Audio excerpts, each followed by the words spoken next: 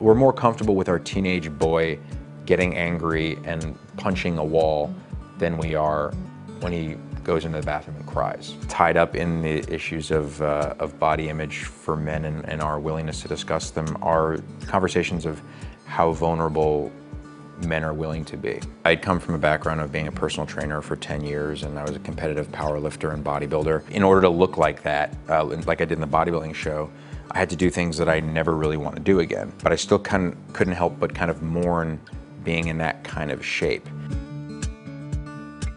So when I got to Orange is the New Black uh, for that for the first shirtless scene, I definitely did some unhealthy crash dieting. And being in TV long enough, I'll tell you this is something that almost all actors and actresses do for these shirtless scenes, uh, which is unfortunate. Before it aired, I saw myself, and I actually thought to myself, I'm like, you know, I, I missed the mark. Like I, I, should have been, you know, whatever else. And now in hindsight, looking back to me, that's that's really sad. I had a dentist who asked if I wanted like a lower tooth brace. I have like a little thing right here uh, that I haven't particularly felt self-conscious about, but they've asked me like on multiple occasions if I want it. And I'm like, I'm good. And the dentist was like, oh, okay. Yeah, they're like, who needs a perfect smile? And I said, I was like, I was like, I don't know if we need to call it perfect.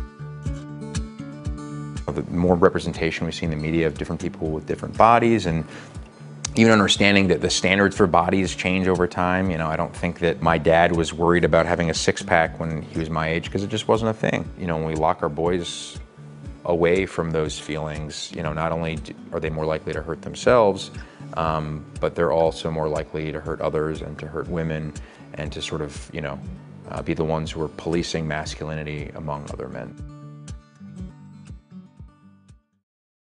Hello, Today fans. Thanks for checking out our YouTube channel. Subscribe by clicking that button down there and click on any of the videos over here to watch the latest interviews, show highlights, and digital exclusives.